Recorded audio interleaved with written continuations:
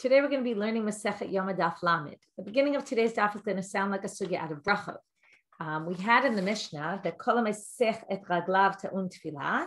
Anyone who has a bowel movement needs to go to the mikvah. The Kol Matil Mayim Ta'un Kiddush Yadayim V'Raglayim. We're obviously referring to Kohanim. We're doing work in the temple. Anyone who urinates needs to, needs to wash his feet and his hands. So the Gemara is going to say, Bishlama were two lines from the bottom of Kaftet Mubet, starting really from the word Zak Mikdash, which is just a quote from our Mishnah. Bishlama raglayim mishum nitzotzot. We understand the legs because of drippings that might come from the urine. The urine might trickle down his leg. And right, we're really referring to men here, which makes sense because we're Kohanim who are working in the temple, is what we're discussing. Ela yadayim, my timer, but why hands? So Amar Rabbi Abba Zot Omeret mitzvah. So Rashi says, what does it mean mitzvah l'shafshef?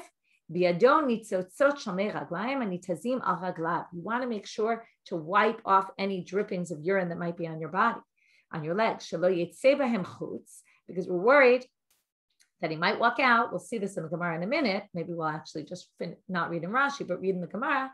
Ami. This supports the words of Rabbi Ami, the Rabbi Ami. אסור לאדם שיצא בניצוצות שעל גבי רגליו. You have to make sure not to walk out with urine on your legs after going to the bathroom.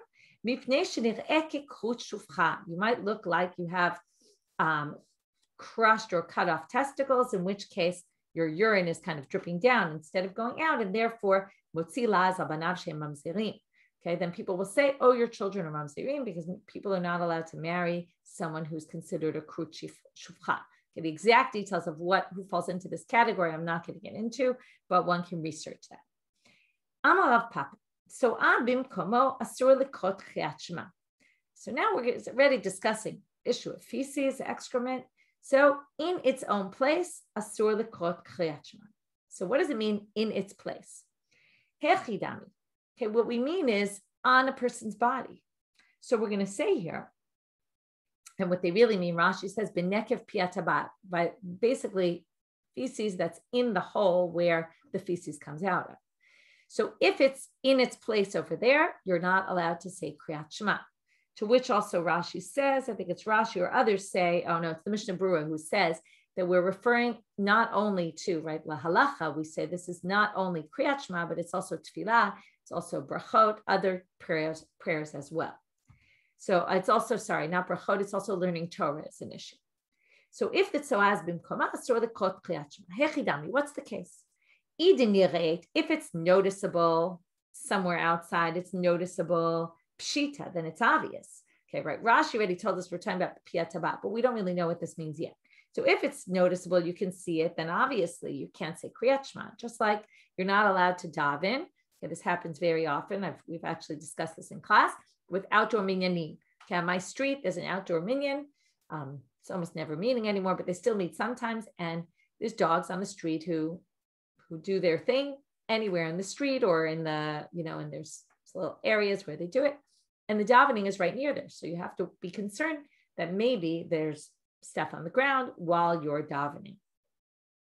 So if it's noticeable, then obviously, if it's not noticeable, and that's what they mean by noticeable is already on the outside. Here it doesn't really mean seen.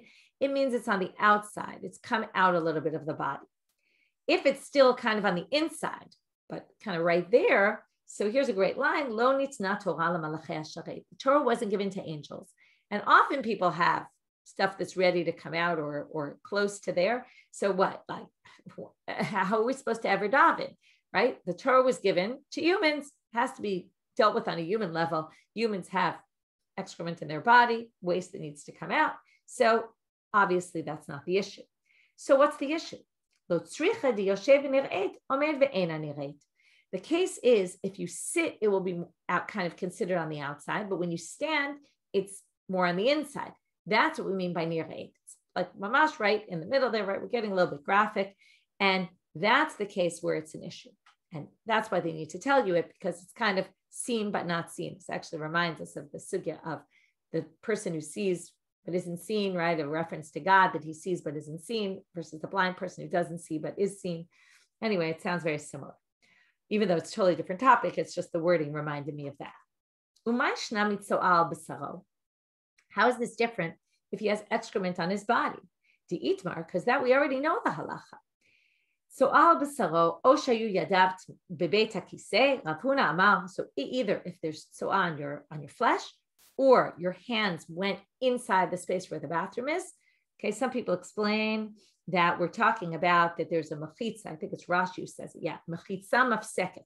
There's a mechitza between you and the bathroom, but there's a hole in the mechitza, and you put your hands derech chorsha mechitza. Rashi says through the hole, and now your hands are in the bathroom.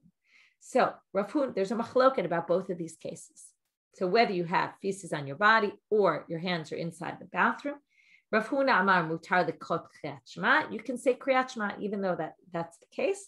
Rav Chisda Amar Asur Likot Kriyat right? He says the first opinion is look, your body's outside, or the feces is on your body. We, it has to be a case where it's covered, like you're wearing pants and there's feces on your leg.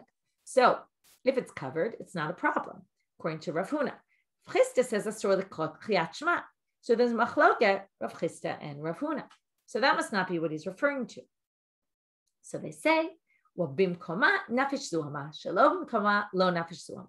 Rav Huna there says you can read Kriyat Shema because there it's away from its original spot. So it's not as disgusting. It's more disgusting when it's found in its original location. And that's when we're going to say again, if it would be seen when you sit, but not when you stand, then it's going to be forbidden to read Kriyat Shema. Tanu Rabbanan, since we're already talking about these kind of topics, they bring some other things. Halacha these are laws about eating meals. Adam yotze lashtin mayim, notel yado chat v'nichnas. If a person goes out to urinate, he has to wash one hand before he comes back in, right? Presumably the hand that he used to help him with urinating, and then he could come back in. So he only has to wash that hand. But if he stays outside for a while and talking to a friend, let's say he leaves to go to the bathroom and then he doesn't come back for a while, I'm not even sure if he, it doesn't even matter if he went to the bathroom or not. If he walked out of the room for a while and then comes back in, he has to do both his hands. Why? This is a different issue. That was to clean your hands from going to the bathroom. This is because of um, because you might have had what we call hesechadat. You've already gotten your mind off of your bread, and therefore you have to wash again. Ukeshu notel. Here's an interesting halacha. When you do that netilat yadayim the second time, right? You know, you've already done at the beginning of your meal, but now you went out for a long time and you come back. Right? The concern here, by the way, is that because you were out for a long time, your hands might have touched something that became impure, that made your hands impure. And then when you come back in, your hands are now impure. And that's why, since you're, you weren't thinking about it while you were having this conversation, you were distracted. We always say yadayim askaniyot, they touch lots of things. And that's why in the, in the first place, we have to wash the tila right? It's remembering the time when they kept tuma and ta'ara. Obviously, we don't have to worry about these things nowadays, but we still do it in remembrance. So therefore, we're going to say you have to do it, but when you do it, lo me bachutz v'ikanes. Don't do it outside and then come in. Mipnei chashad, because people will suspect you that you didn't wash your hands again. Now you might say, what do we care if people suspect us? What, what's it their business? So let's go on and let's see. So what do you have to do? You go in, you sit down in your spot, and then you wash your hands. And then you pass around and you say, Oh, does anyone else need to wash? You take the tapiach, which is the natla, they call it in Hebrew, modern Hebrew, which is the, the utensil used for washing, and you pass it around and then you make a big deal to basically show people, Oh, look, I just washed my hands. In case they didn't notice you do it, if you start passing around the tapiach, everyone will know that you washed your hands. So Amar Rav Chisda, Rav Chisda says, wait a minute. This is only if you came back planning only to drink. Why? Because if you come back planning to drink, you don't really need to wash your hands. You only wash your hands for bread. However, what's the problem? The problem is while you're sitting at the table, you might end up nibbling on something. And then people will look at you and say, hey, wait, you went to the bathroom or you went out to talk to your friend. You got distracted, right? You might have touched something. And now you're touching the food with impure hands. So they'll be suspect. If you come back, but if you come back to eat, no, tell me People know that you're not going to come back without washing your hands for planning to eat bread. The concern is, and this is classic, right? You come in with the intent to just eat, have a cup of wine. But while you're sitting there, everyone's eating, and then you start nibbling, and then you start touching the food. Now, first of all, it could be that they also really don't want you touching their food if they're concerned that maybe you have impurity on you. Maybe that has something to do with it. But also, they're going to suspect you that you weren't intending to eat any more bread. So you probably didn't wash outside. And now all of a sudden you're starting to nibble and you're now touching the food with impure hands. So again, what's at their business, right? Maybe you'll say what's at their business because you're going to eat food, maybe put it down, and then they're going to end up eating leftovers of it, and they'll end up eating food that's impure. Maybe that's a concern of theirs.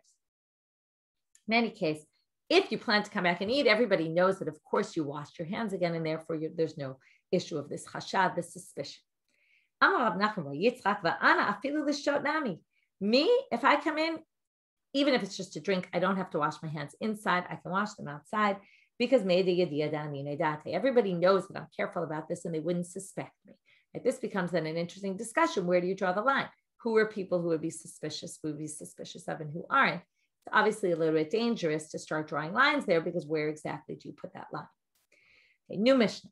Adam nichnas la'avoda afilu tahor ad Nobody goes into the azara to work unless they're even a tahor person, even if they're pure, until they dunk in the mikvah. Meaning, before they go into the mikvah, everybody needs to go. Uh, before they go into the azara, everybody needs to go into the mikvah. There's a debate: is this just kohanim? Is it just there? La, la, it says la azara la avodah. It sounds like only people who are going to do some sacrificial rite. What if you're not? Some people say maybe this doesn't apply. There's actually a problem with the gear saying, Tavia Kaufmann, which is the earliest version manuscript of the Mishnah. It says La Azara Villa Avoda, which makes it sound like you always have to go to the mikvah if you go into the Azara, even if you're not going La Avoda, both for the Azara and for Avoda. Of course, according to that, you wouldn't need to say La Avoda. If you're going to the Azara for whatever reason, you'd have to do it obviously then La Avoda. So anyway, there's a problem with the, the Nusach. It's not clear what it says and therefore there's ramifications. Again, do you have to go even not lavoda? Some people say the Tosfot Yeshanim says you have to go even if you're not planning to do work, because maybe you will. It's very similar to the eating, right? You come back, you plan to drink, but maybe you'll end up eating. So we have to be concerned for that too. So there's all different ways of reading this line. But the point is that for sure, if you're going to do work in the temple, you have to tovel before you go in, even if you know that you're pure.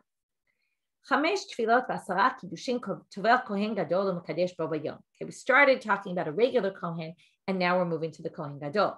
So the high, the the Kohen Gadol, the high priest, on Yom Kippurim, what does he need to do? He needs to. We've seen this before. Five dunkings in the mikvah and ten washings of his hands and his feet. Vikulan bakodesh. Okay, he does this all bakodesh al beit parva. Okay, near the beit parva. If you remember, we saw that in the map um, where it is. I will go get it for a second. We have the Beit Parva is right at the southeast corner of the Azara. Okay, it's called the chamber, the hides chamber. Okay, if you have the English here, here's in the picture where it is. Okay, that's right on the entrance way into the Azara, all the way on the south side. So we talked about, and you can see it in the picture, there's a little blue like there was a mikveh there, okay, on the roof of that building. So that's where he would go. And it was in the Kodesh, it was in the sanctified area. Chutz mizo bilvad, other than one, right? The first time he does it, he doesn't go in the Kodesh. If you remember, he goes on top of the Shar Hamayim in the Lishkat Beit Avtinas, which was right next to where he learned how to do the Ktoret. And there, there was a mikveh, and it was considered still outside the Azara, not part of the inside of the Azara. That one wasn't in the Kodesh because he can't go into the Azara, right? This issue. You have a mikveh in the Azara, but you can't go into the Azara until you've gone to the mikveh. So obviously you can't do the mikveh in the Azara as your first dunking.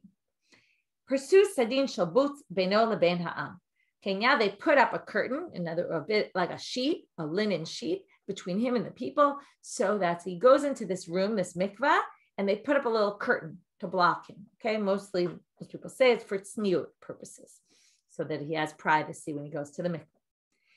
Gemara starts off with a brayta. Shaluet ben Zoma. They asked Ben Zoma, Tevilah zolama. What do you need this tevilah to go into the temple on a regular day?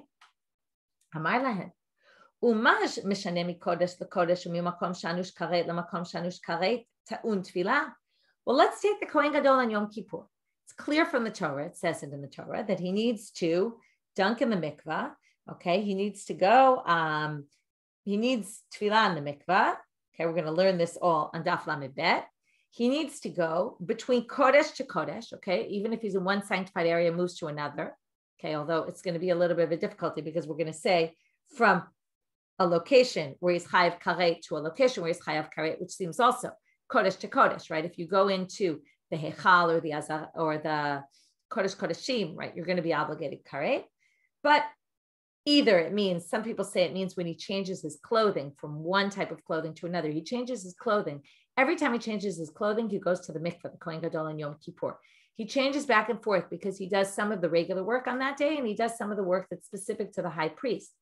And in between, he changes his clothes. When it's specific work for the high priest and Yom Kippur, he wears the white clothing that we've discussed.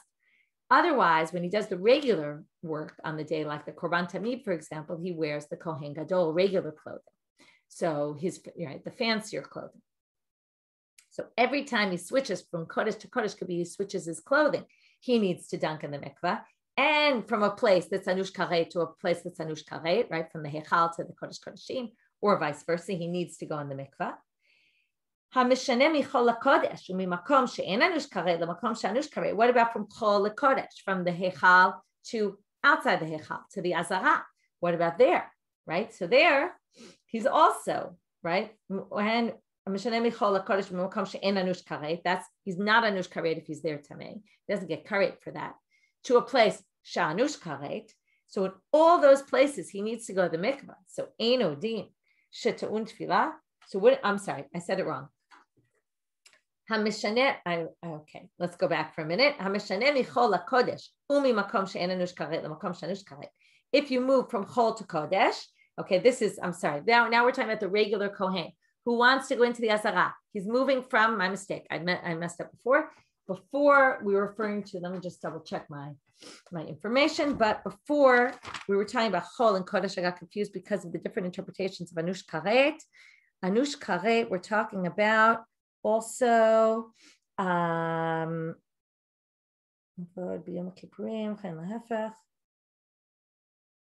I guess, yeah. Okay, but here we're moving from Anush Karet to Ein Anush Karet. It doesn't say specifically here, but I assume it means from the Hechal to the Kodesh Kodeshim and back and forth, maybe also to the Azara. But if you're coming from really Chol, not the Azara, but you're coming from outside this the Beit Hamikdash and you're going into the temple, or Mimakom Shanush Karet, like the Azara, or Enanush Karet. So sorry, the Azara is included in all the previous sections with the Kohen Gadol, he's switching between the Azara and the Hechal and the Kodesh Kodeshim. So Ein Odin Sheta'un Tevilah. So wouldn't it be obvious that he'd need to go in the mikvah? Okay, for all a regular person is coming from Chol to Kodesh or non Anush Karet to Anush Karet, where you're going to get Karet if you're now Tameh and outside you weren't obligated Karet. Of course, is going to need to dunk. If the Kohen Gadol needs to dunk in all these cases, well, obviously he will need to dunk. So that's Ben Zoma's opinion. So Ben Zoma basically brings, sorry, that complicated a little, but he brings a basically simple kavachon. The Kohen Gadol moves from place to place inside the Azara, different locations in the Azara. He does different activities. Maybe it means also from one job to another. And in between each of the jobs he does, he needs to go to the mikvah. So if that, and even though he's moving between locations that all have the same basic level of sanctity, but if one is a little more or a little less, but basically all sanctified and places where you're going to be obligated karet for having impurity. And yet he needs to go to the mikveh each time. So of course, someone who's coming from the outside, where it's not sanctified at all, of course he's going to need to go to the mikveh. What that's that's obvious. Okay. And then it's going to be a halacha from the Torah because the Torah law says, the Torah says the Kohen Gadol has to go to the mikveh on Yom Kippur. Right? It talks about it there. So from there, they're going to learn to anybody else who comes into the Azara. Rabbi Yehuda Omer, Srach Tevila or Serech Tevila Hizel. This is just, this is what we call a Darabanan. The rabbis instituted this kind of tevilah. It's not really obligated by law. What's the point of it? It's to remind someone in case he forgot that he was tame and that he came in contact with a dead body or something like that. In case he forgot, this is to remind him so that he remembers before he goes in. He'll remember, oh, wait, I have to go to the mikveh, but wait a minute. I was with a dead person. I didn't have the sprinkling of day three or day seven. Therefore, they make him do that to refresh his memory and remind him, wait, you have to be careful and make sure you're really pure. So, what's the root of their machlok? So, we're going to have a number of options as to what's the root of their machlok. First, we're going to say we're actually going to have two answers. After the first one, we're going to have raise a question. The second one, we're also going to raise a question, but then we're going to answer the second one. What they're talking about is, is your work desecrated if you come in, uh, if you're tameh, okay? Or actually, if you didn't, forget about if you're tameh. Maybe you're tahor, we don't know. But if you didn't go to the mikvah, are and you do the work in the temple without going to the mikvah, right? You don't know that you're tameh. If you're tameh, it's obviously a problem. But if you don't know and you didn't go to the mikvah, is what you did disqualified? So, leben zoma mechil avodah. It's disqualified because you didn't. It's a Torah law. You didn't do the way you're supposed to. The Rabbi Yehuda lo machil avodah. But according to Rabbi Yehuda, it's just a derabanan, and it's not going to mess up what you did. Ula ben zoma mi machil. Really, you're going to say according to ben zoma, it's it's your work is is no good. Vahatanya kohen gadol shelo taval velo kidesh ben beged lebeged uben avodah lavodah v'dato kshera. אחד כהן גדול ואחד כהן אדיוט, שלא כדי שידע ברגליו שחרית ועבד עבודה, עבודתו פסולה. He distinguishes between two situations. Kohen Gadol, who doesn't go to the mikveh and doesn't wash his hands and legs in between all the different clothing, the change of clothing, and the, the rituals that he does on that day. If then he worked in the temple, it's fine. It's not a big deal. But a Kohen Gadol or Kohen Hedyot who didn't wash his hands or, or legs in the morning and did avodah, then is avodah is avodah's psula. It's disqualified. Now, what do you see here? Where did he learn out this issue of going in the morning, right? Going every day before you go into the azara? It's learned out from this kavachomer from the Kohen Gadol. So if it's learned out from a kavachomer from the Kohen Gadol, and the Kohen Gadol himself is avodah is kshera, then it should be a kavachomer from there to a regular Kohen, if the whole halach of a regular Kohen going into the Azara is learned from there, and that is kshera, then also it should be kshera if you did the avodah without going to the mikvah. So therefore, it can't be the Ben Zoma thinks that your work is disqualified. And therefore, we're going to say, it must be the machloket is to say, did you do, did you, did you, um, did you not keep a mitzvah asi? Did you, okay, did you take this positive commandment and ignore it, right? You basically overrode a positive commandment. According to Ben Zoma, you did because it's all learned out. If you look at Rashi, it says since it's learned from Kavachomer of the Kohen Gadol Shover ba'ase kidichtiv. It says he washes himself in water and then gets dressed. So there you see, it's a mitzvah asay to do that. And if we're learning it out from there, then a mitzvah asay for anyone to do it when they go into the azara. And then if you don't do this, it's not that your work is going to be disqualified. It's not. But you didn't do a positive commandment that you were supposed to do. The Rabbi Yehuda, who obviously says this whole thing is Durabanan, or who says that, then obviously, according to him, lo kai ba'ase. There is no mitzvah ase, and therefore it's not an issue. Now we're going to question. That was first we questioned, right? We tried to figure out what the root of the machloket is. That's the root of the machloket, or really, it's not so much what the root is, but where is there going to be a difference between the two opinions? Because if it's anyway, you have to dunk. What's the difference? Whether it's Rabban and Doraita, that's the difference. Did you transgress, like not keep a mitzvah, a say, a positive commandment from the Torah? Umi Rabbi Yehuda Does he really hold this way that you don't have to go to the mikvah when you go into the the azara? Doesn't it say in a brayta, mitzorah tovel va'omer b'shar nikanor? When you're a mitzorah, you have a whole process to undergo. After you become declared a mitzorah, then and then you're cured. You have seven days where there's things you have to do in those seven days. When you're done with the seven days, okay, you know, you wait these seven days, then you go to the mikveh at the end of the seven days.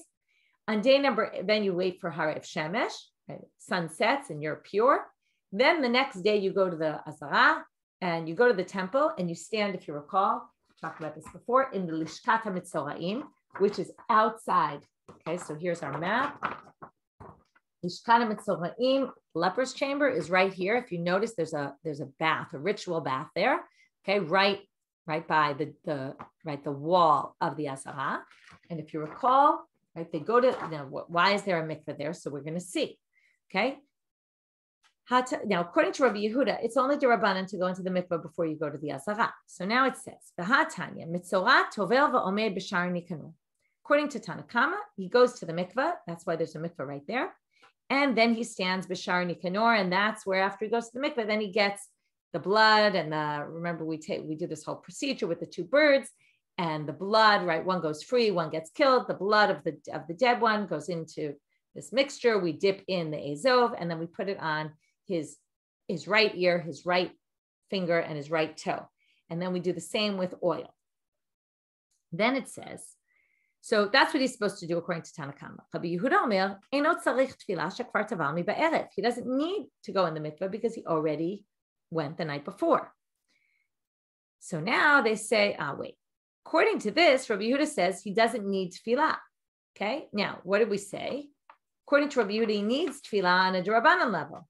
So, um, does it make sense to say, right? According to this, um, yeah. So now he basically, according to Rabbi Yehuda in the Bright, or what did he say? Everyone needs to go to the mikveh. It's just, it's right. It's just so that we remember in case we we have some impurity. And according to this, he doesn't need to go to the mikveh before going into the azara. So how do we explain this? So they say, what do you mean? It's obvious. And that's why the question was a little hard to get because he already went to the mikveh the night before. That's why he doesn't need to go to the mikveh when he goes into the Azara. If he hadn't gone to the mikveh on day number seven or the day before, if he hadn't gone to the mikveh on day number seven, then he'd need to go to the mikveh. But he went to the mikveh. That's why he doesn't need it. So then the Gemara asks a good question, which is my karela. This happens a lot where they say, yeah, that was a pretty obvious answer. So why did they even ask the question? What was the point of the question? So they say, Mishum de mirma acharite ale. Okay, so I want you to get clear all our sources. We have source number one, which is this Breita that we had about a machloket ben Zoma and Rabbi Yehuda. Is the tevilah going into the Azara on a Doraita level? Is it from Torah law or is it rabbinic? And is it just to remind you? Then we had this Breita about the Mitzorah. Tanakama says the Mitzorah goes into the mikvah before he goes into the Azara. Rabbi Yehuda says he doesn't need to because he already went the night before, right? Presumably, it sounds like the rabbis are saying, even or the day before, the rabbis are saying, even though he did it the day before, he still needs to do it again. So now the Gemara says, well, listen, the reason why we ask this question is really because we have another contradiction between Rabbi Yehuda and Rabbi Yehuda by bringing a third bright. Um, that's what it means. Lemirma acharite ale. We wanted to raise a question from a different source. Lishkat mitzoraim, shesham mitzoraim tovlim. What's why is lishkat? Why is it called lishkat mitzoraim? It's because Sham Hamitzoraim Tovlim. That's where people who are who have leper, leprous people go to the mikvah before on day number eight. So now Rabbi Yehuda says, and here comes the contradiction. Rabbi Yehuda Omer, Lo Mitzoraim Bovadabru Ella Kol Adam. It's not just for the Mitzoraim, it's really for everybody. Now it's strange that he says this. And now we're going to see because because He just said a minute ago that the Mitzoraim don't need to go to the mikveh. So because he said they don't need to go to the mikveh, why are you saying that not only the Mitzoraim dunk here, but also everybody as well? Which means he holds that the Mitzoraim go to the mikveh there. And he just told us that the Mitzoraim don't go to the mikveh there because they already went to the mikveh before, yesterday. So how do we explain this? So we're going to have a number of different options. Okay, we're going to get up to five different possibilities to answer this contradiction. So now they're going to say, Rabbi Yehuda, um, lo kasha, hadetavil, hadelo tavil. Oh, you just simply say, okay. And by the way, that's why they raised this question in the first place against Rabbi Yehuda, because they said what they were really asking was, well, Rabbi Yehuda seems to contradict himself. He's not clear. He says in one place the Matorah doesn't need to go to mikveh, another place says the Matorah does. So therefore they say, oh, hadetavil, hadelo tavil the case where it's for the where he says in the third Breita, it's for the Mitzoraim to dunk there. That's in the event that they didn't go to the mikvah on day number seven, they would go to the mikvah on day number eight in the morning before doing their process because they haven't gone to the mikvah yet. But if they already went to the mikvah, they don't need to go again on day number eight. They went on day number seven. To which the Gemara asked, that definitely doesn't make sense because idelo tavil harev shemesh We've seen this many times. If he didn't go to the mikvah on day number seven, and he goes to the mikvah day number eight. Whenever he goes to the mikvah, he has to wait for the sun to set in order to be pure, which means he can't do what he's supposed to do on day number eight in the temple because he has to wait for sunset. He's actually impure still. He still has the impurity of the mitzvah on him. He can't even be in the Ezrat Nashim now. So that can't possibly be. So that option number one is out the door. Ella, it has to be he went to the mikvah day number seven. So again, why in one case does he seem to say the mitzvah doesn't need to go to the mikvah? That was Brighton number two. And Brighton number three is he says the mitzvah does need to go to the mikvah. So had hada asichadate, hada lo asichadate. One is he kept his mind the whole time since he went to the mikvah on the fact that he went to the mikvah and made sure not to become impure to anything. And the other is he took his mind off of it. Now there's always a concern if you're not thinking about it, and he knows he needs to go to the temple tomorrow and it's not in your mind, maybe he became impure to a dead person and wasn't paying attention. And how do we know that this is an issue? Um, if he took his mind off of it, has actually shiushvi he actually needs, if you're not sure if maybe you became impure because you weren't paying attention, you need to be sprinkled on day number three and day number seven, and you need to wait a whole another week to be able to do it. So that's why he goes to the mikveh. If if he's Masich dat, uh, sorry, let's stop. That was a question. First, we think if he gets his mind off of it, then he'll need to go to the mikvah on day number eight. But that doesn't help because the Gemara says if he didn't pay attention and maybe became impure to something, we're worried about a dead person, he'll need three and seven to be sprinkled. That's not going to help to go to the mikvah again the next day. And how do we know this? De Amar Rabbi Bar Matuna Rabbi Yochanan, he says the name Rabbi Yochanan, Hesechadat Tzarich Hazaash. If you lost track and you're not sure, then you know you weren't paying attention. You actually have to be sprinkled because maybe you're actually impure. So answer number two also doesn't work. Next. Um, Velo kashya, uh, It must be he didn't take his mind off of it. Otherwise, he'd need another whole week.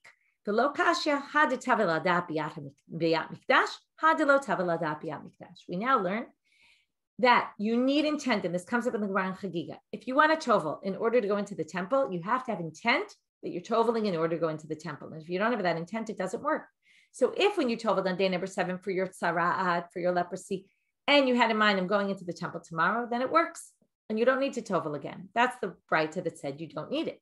But the last braita we saw, braita number three, that says you need to tovel again. That was in the case where you didn't have in mind that you were going into the temple the next day. And that's what the Lishkat Hamitzora'im is there for, according to Rabbi Yehuda.